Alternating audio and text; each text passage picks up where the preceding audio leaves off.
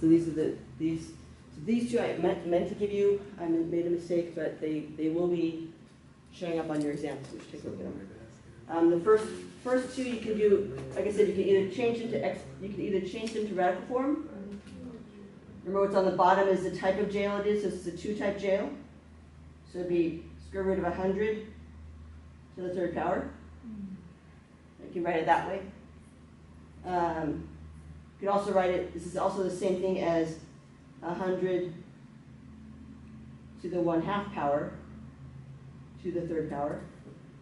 You could also write it the other way too. You could also write it, if you wanted, if for some reason you wanted to do it the other way, you could do it hundred to the third power to the one half power.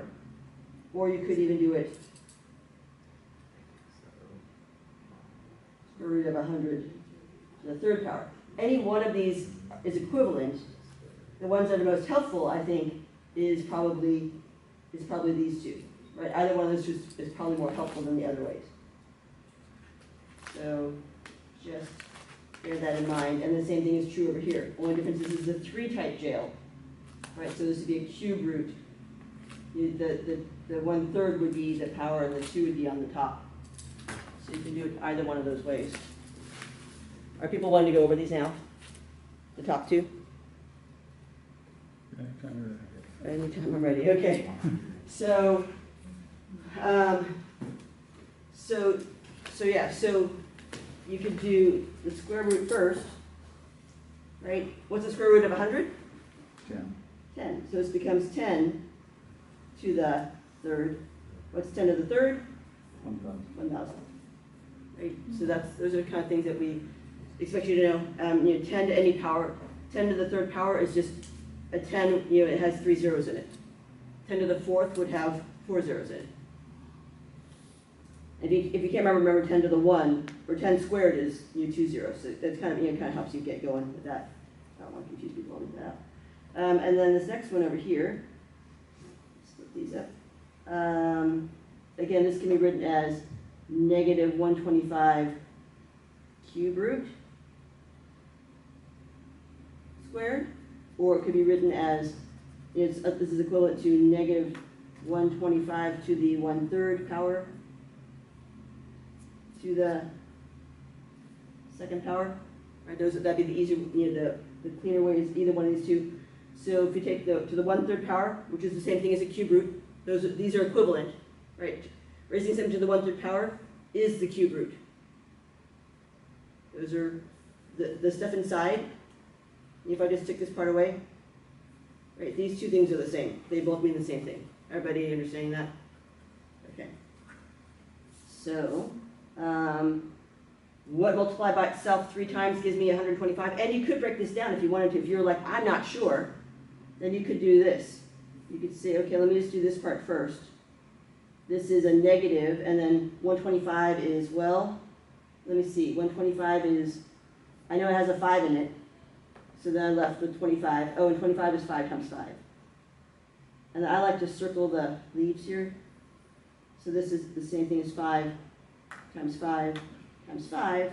And of course, they break out in, don't forget the squared part. Um, they break out in groups of 3.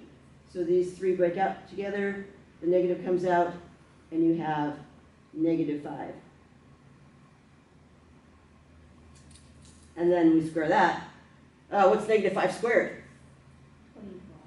Positive 25. So that's the tricky part. Remember, it's the whole, whatever you find here, it's the whole thing squared. So some of you might have made a mistake and put negative 25. Right? That's pretty common. I, did it a totally different way, but still got the same answer. Then that's totally great. You, you, so you squared 125 first? Uh, yeah, I squared 125 first, and then I, uh, and then I cubed, uh, Cube rooted it? yeah, 15, 6, 25 to 25, yeah. Okay, got it. Okay, so that's still. Yeah, that's, Okay. you can totally do it that way. Okay, It's just mathematically, it's harder because then you gotta say, oh, how many, what's the, what's the square root or, or cube root of this really big number right, that you may not know offhand? yeah, Say, same with the first one, you could have done it that way too. You could have done one, you know, a hundred to the third power and then square with that. It's just, it's just a harder number to work with. Mhm, okay. All right, so Alex, these two problems will be on your exam as well, um, as possibilities. And, th- and then let's take a look at the next problem down. Take a look at number twelve and work on those ones. Um, so I'm gonna take that screen in just a minute.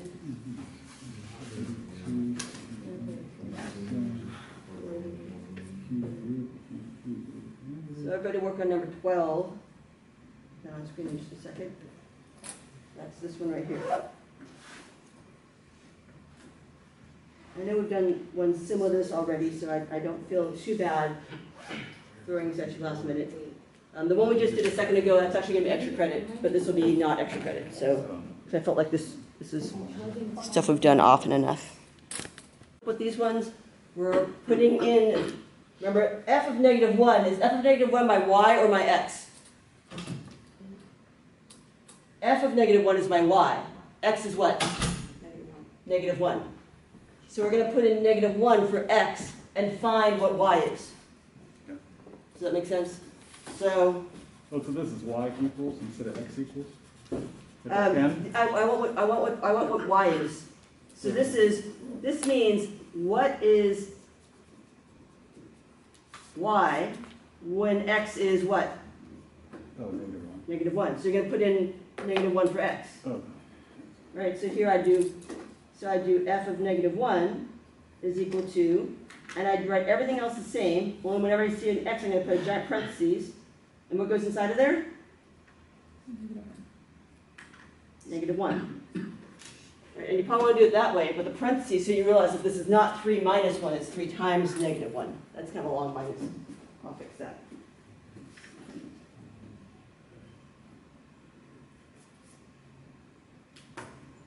And then just figure out what that, what that value is. you have to try this method, need, uh, you need physics ten. Ah. All right, so let's take a look at these. We'll take a look at this first one that, since I already have that one done, the f of negative one kind of.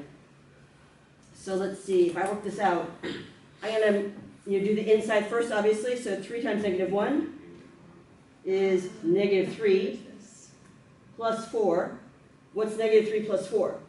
I have three dollars, or sorry, I owe three dollars, I have four dollars, my net worth is one dollar. And square root of one is one, right? Everybody on board with that part? Yes? No? Oh, yeah, okay. I see what you're. I'm gonna do, I did the bottom one first, because I was already there. all right.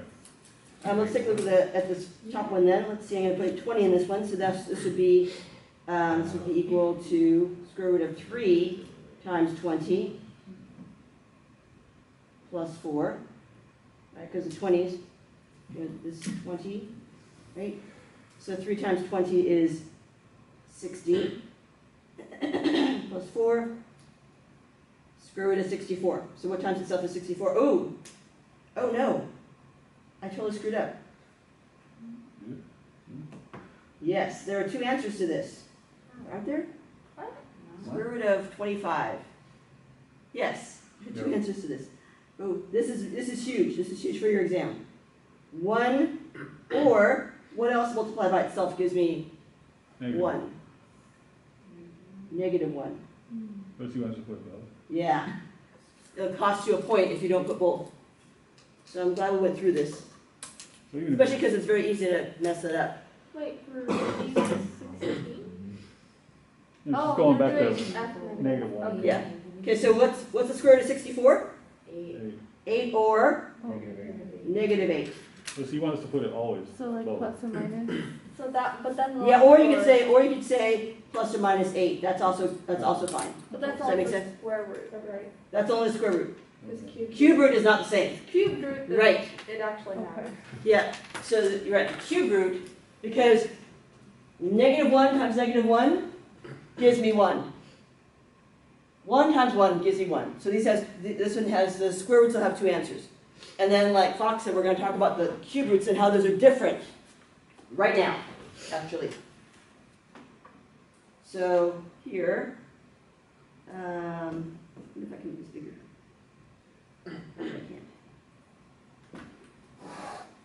So this first one, we're gonna do, this is equal to the cubed root of five plus two times, what goes in there? Negative two. All right, so then, let's see, cube root of five plus, mm, plus negative four, so minus four? Uh, Everybody all right with that part? So this is the cube root of one. All right, so cube root of one, what multiplied by itself three times gives me one? Only positive one. Because negative one times itself three times, negative one times negative one times negative one would be negative one. Everybody on board? So this only has one answer. Negative one would not work. Because a negative, negative one times negative one times negative one would be negative one, and that's not negative, it's positive. So this one only has one answer. Well, one third. I'm sorry? Well, no, that wouldn't work. One third. Right, that wouldn't work. Yeah, that's, Yeah. adding. One third times one third one times Yeah. one third is like one twenty-seven. Oh, yeah, I got the answer right, I was just. Yeah. Yeah, you're just posing questions, yeah. Yeah. I, I like, I love the fact you're wondering, yeah, I just wanted to talk about that. Okay, so cube root of five plus two times x when x is negative sixteen. Okay, so negative sixteen is thir- thirty-two, so it's cube root of five minus thirty-two. So that's the cube root of negative twenty-seven. So remember, you can never, ever, ever take the square root of a positive number, but you can totally take the cube root of a negative number. Where were you, a positive number? Can't take, it- I mean, you can't take a square root of a Negative. negative number, my bad. You can never take the square root of a negative number, but you can take the cube root, because remember, the cube root is this little s thing, right? So it's, it's all real numbers. This is x, cube root of x. Whereas the square root of x is this little swishy thing like that. So it has, it has, um, it has, it, it can't be all, it, its domain is, is limited. It's, it, it's not Is there gonna be a negative square root on the test? No. And if there was, then you probably made a mistake. Or you could put does not exist. But we'll likely you made a mistake as a hint. Okay. Um, or, or, it's possible I made a mistake, but these are not, I've, people have, have seen these questions before and haven't had issues with them. All right, so what multiplied by itself three times gives me negative 27? Negative 3. Negative 3. Um, what else do you need to know? You need to know that for the square root of x, right? It's gonna be, um, you, here's the center, and then we go one, one, one, right? And then we'd go, yep. Four. Up two. And then we'd go over. What is that? Four, five, six, seven.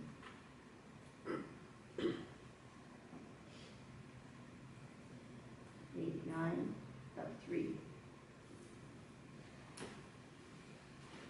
So it goes, goes like that.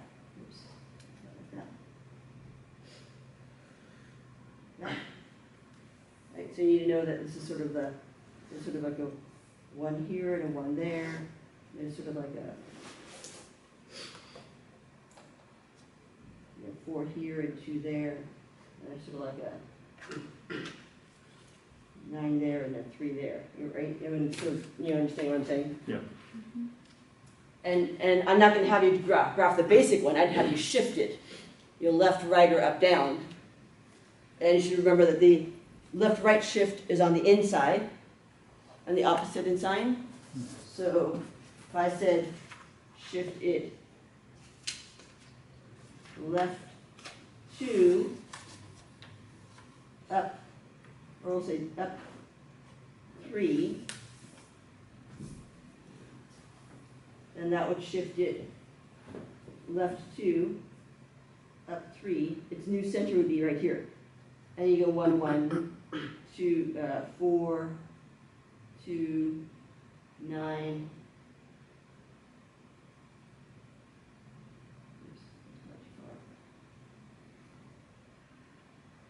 Um, and its,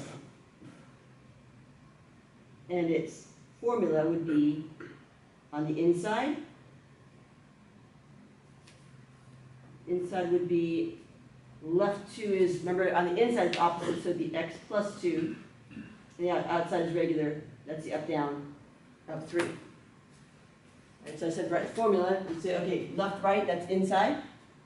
And because it's inside, it's the opposite. And then up three is on the outside. And the picture, the picture is, the picture is correct, how it should be. Left should be is left and up is up. Yeah.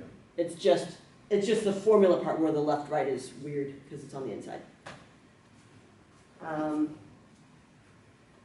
you should also remember that the, oh, that's not right one. Um, you should also remember that the, the S thing goes this one and then one over, one out. Eight over, two, three, four, five, six, seven, eight, and up two. One, two, three, four, five, six, seven, eight. Right, so it does this weird sort of little S thing. And this is, um, y equals cube root of x. And again, you shift that. Um, are there any problems from the practice exam you folks want to go over? We've got 25 minutes left, and then we'll take a five-minute break, and then we'll start the exam.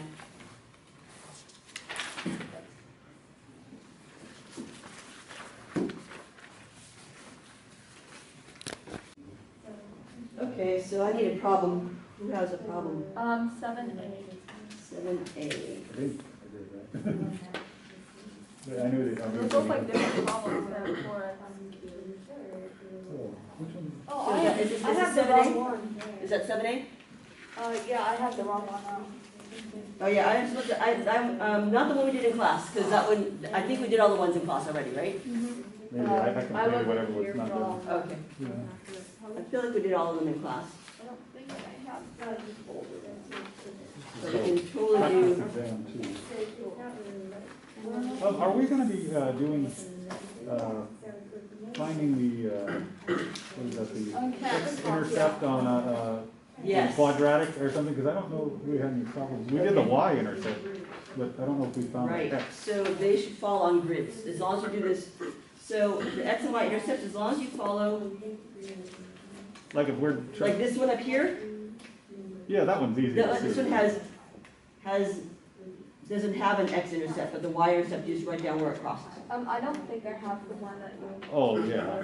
But I mean, if, if we were doing the whole Um, thing it's one I where, handed out a long time ago. if you didn't have the graph and we were just like, I would not ask you to do without the graph. oh, okay, yeah. I don't have it. Was there a- Oh, I. It's this one.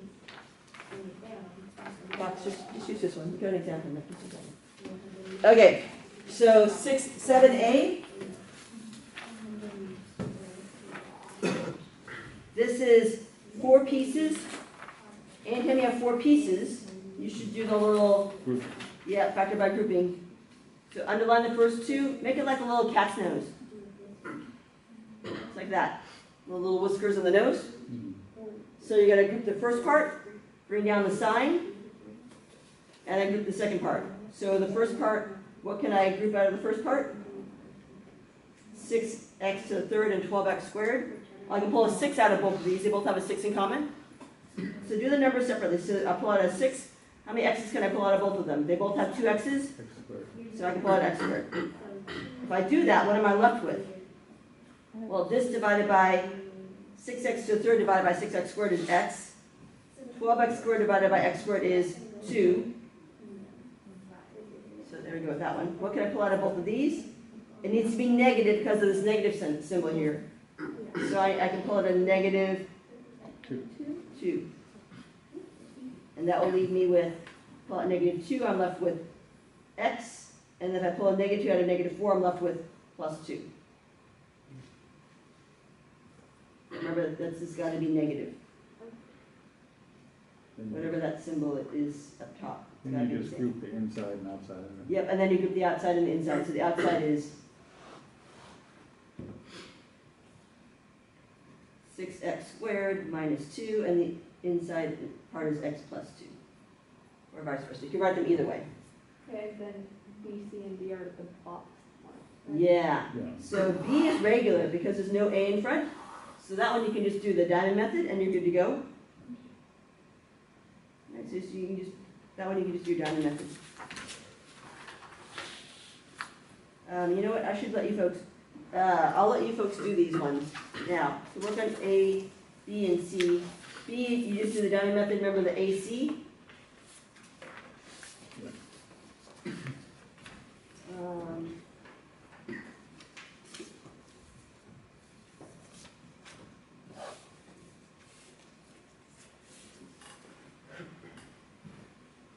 Right, So this one would be the AC method. You have A times Oh, C yeah, plus B. And so my B is four, my A times C is three. So two numbers that multiply to three and add to four. Right. C, because you do have a number in front of the x squared, your A is not one. You have to do the extra step, either, either the box or the factor by grouping.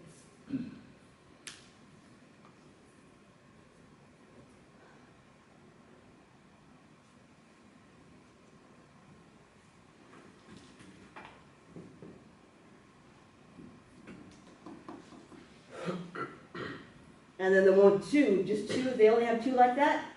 Just check and see if it's, a- check for difference between two squares. Difference between two squares. That Mhm.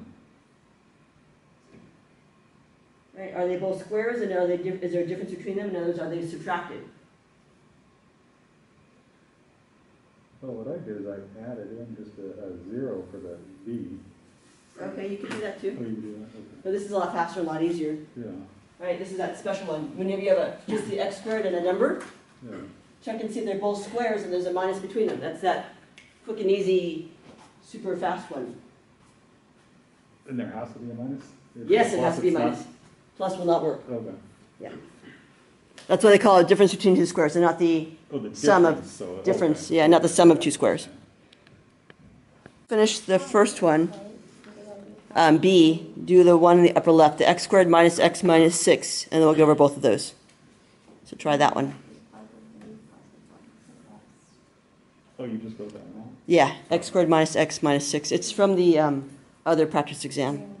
So I want you folks to get, kind of get a little bit of practice with, with both of them, seeing different, different options. Same as C, but that's the- No, uh, no, it's the same as B, Oh, right, okay. because they both have no number in front of the x squared.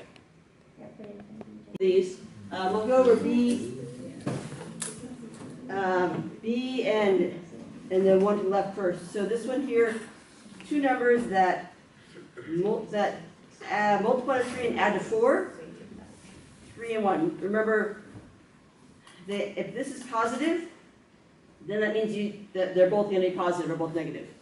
Right, because, so, so then, that means they have to add to four. Um, so here, this is well, the simple ones, we can go straight to this. X plus three, X plus one, done. This is the easy one, because there isn't an extra step. This one over here, same idea. Right, we, we- we're gonna have our two numbers that multiply to negative six and add to negative one. But remember, because they multiply to negative six, then one has to be positive, one has to be negative.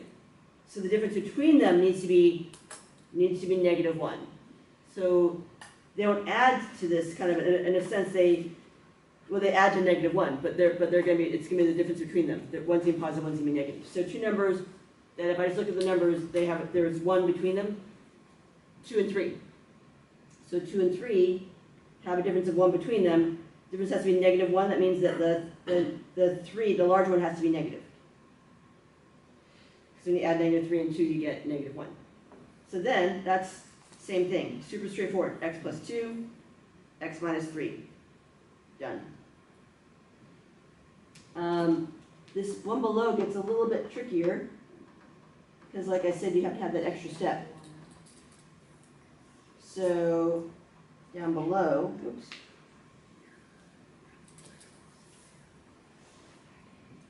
You'll do the diamond method. Three times negative two is negative six, two numbers multiplied negative six, add ten, negative one. Oh, we did that earlier, didn't we? Didn't we just do that? Negative three Yeah. and two? But we can't just go straight up and do x minus x plus two and x minus three, because that does not, when you multiply them, does not equal this. So we have to do the extra step. Um, we can either do the, I'll do the factor by grouping method first, where I take out the negative x and replace it with, um, these two numbers, so that would be plus two x minus, um, three x. Right, so I just, I just replaced the negative x with, the- with that, minus two, and I'm gonna factor by grouping. These two, drop down the minus sign, and then those two. So, let's see, three x squared and two x. I can only pull out an x. I'm left with three x plus two. Drop down the minus, so I need to pull out a negative. So here I can't pull out anything. Add three x and negative three x and negative two, so I'm just gonna pull out a negative one. That's all I can pull out. And I'm left with three x. If I pull a negative one out of negative two, I'm left with plus two. So this becomes x minus one, sorry, x minus one times three x plus two. If you did the other direction, you'd have, you'd still get these two, you just would pull out three x plus two. So either way, you get this is the answer. If you did the box method, this is a different method, the box method, you'd say, okay, the first number, three x squared, you put that in the first box. Last number, negative two, you put that in the last box. And then the, these two numbers here, you put them into these guys here, right? So this becomes minus three x and plus two x. And then you say, okay, what can I pull out of three x squared and negative three x? Well, I can pull out a three x, so I'll pull that out. And then what I like to do, what I think is better is saying, what the, what times three x gives me three x squared? Well, three x times x gives me three x squared, so I know this should be x up here. Because these two should multiply to give me the one in the, kind of, that's kind of between them. And then x times what gives me two x? x times two gives me two x. So that works out all right. And then three x times what gives me negative three x? Negative one, and then the final check is, is negative one times two, negative two? Yes, so then you're done. So then you have x minus one times three x plus two. So you get the same answer either way. And the very last one, if you recognize this as a difference between two squares, it's super easy. Because then you're like, okay, what's the square root of twenty-five x squared? Twenty-five is five, x squared is x. Square root of four is two. So then I'm just gonna write two things here, five x, five x, two and two, one's plus and one's minus. Done, that's it. That's all you gotta do. How, do you know one's plus, one's minus? Because they have to be, because you have a negative four, it's, that's, that's, that's, that's, that's how it is. If they're both plus, then you would not, they would not cancel out. So the thing that's nice about this one is they cancel out. Five x times five x gives me twenty-five x. Two times negative two gives me negative four. And if you do the inners and the outers, you'll get ten x here and negative ten x here. So they add up and they cancel each other out. One has to be positive, one has to be minus, or else they don't, they don't cancel out. Do you see what I'm saying? Because this one's negative, you get a negative here, but this one's positive, you get a positive there, and they, they, they cancel, they, if you add them, you get zero.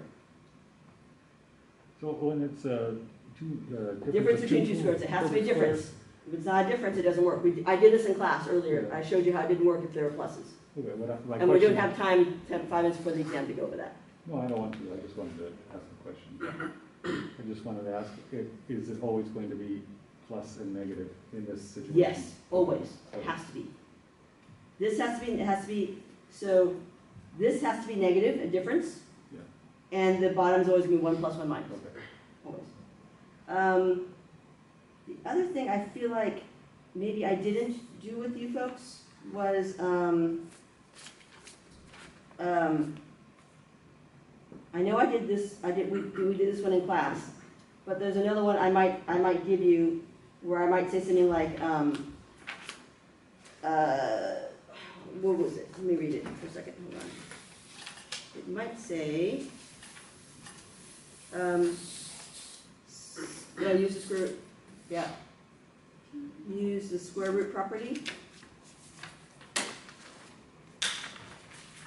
Um, to solve for x. So if you're solving for x, that means you have an equal sign. Right, everybody on board with that? Solving means that there's an equal sign somewhere. If x equals something, that's the only way you can say x, like here, see how there's an equal sign? I can say x equals something. This last one, no equal sign, I can't say x equals anything, all I can do is factor it and say, and give it an option down here. Do you see what I'm saying? X, x is just this and that, it's not that x equals something there.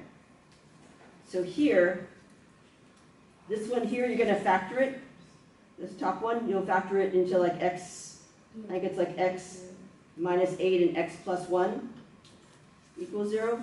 So then you folks all know that from here you go into two spots. x minus eight equals zero, and x plus one equals zero. Everybody all right with that part? Yes? You've seen this before? Okay. Um, but I'm gonna give you a second one where it's, where it's like, use the square root property. So I might give you something like, um, I don't know, like, uh, a hundred x equals, let's do it this way. Um, two hundred x equals thirty-two. So first, uh, should I want to that?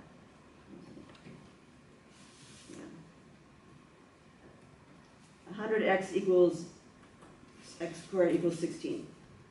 So I have an x squared, but they're both, they're both squares. So when, um, see what's going on, if I say use the square root property, what does the square root property mean? Anybody remember that? Square property, if I have two squares, a square equals another square. So let's make sure I have something similar to what you have. Yep. Oh, I did do that. Okay. I'll give you something better. Um, two x squared equals two hundred. How's that sound? So if I solve this, if I solve for x squared, if I get the x squared by itself, how do I do that? Zero to zero? Nope, You would divide those two, both sides by two. Then I'll have what? x squared equals one hundred. 100. Now I have the x squared by itself. What can I do? I can square both sides. Right, that's the square root property. Hmm. So I didn't set the problem up well. But, so then I have x equals positive, negative. Don't forget the positive, negative. What's the square root of 100? Ten. Ten. Everybody all right with that part? Um, here's another one. This might be a little bit harder.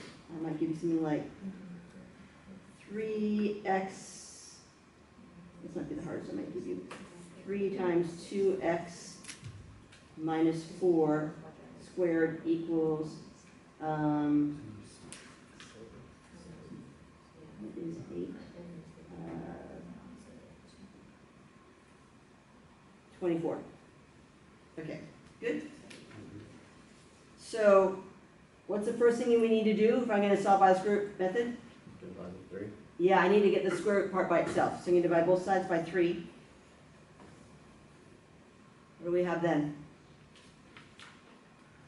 2x squared minus 4. 2x minus 4 squared equals, what's 24 divided by 3? 8. 8. Oh, I just totally screwed that up. Um, I in sixty-four. Darn it. Um, sixty-four times three is hundred ninety-two. Okay, equals sixty-four.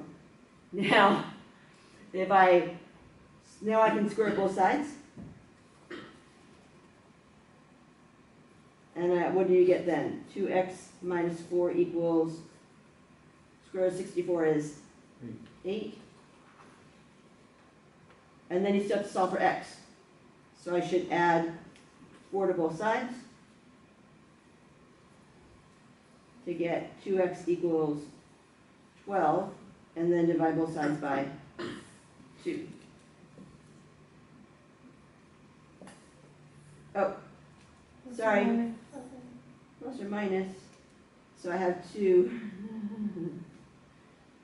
Why am I making all sorts of mistakes right before your exam? Because I'm stressed out. Okay, relax. Deep breath, clear your mind, focus. Okay, so this is one version. The other version is two x minus four equals negative eight.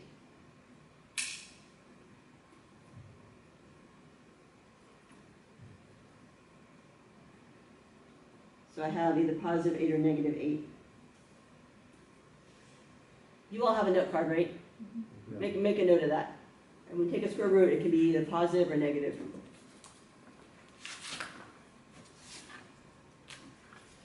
And then I'm going to add four to both sides. I'm so glad we went over this before your exam, because that would have been big trouble. Divide both sides by two. X equals negative two. So this has two answers. X is negative six, and X, or positive six and X is negative two.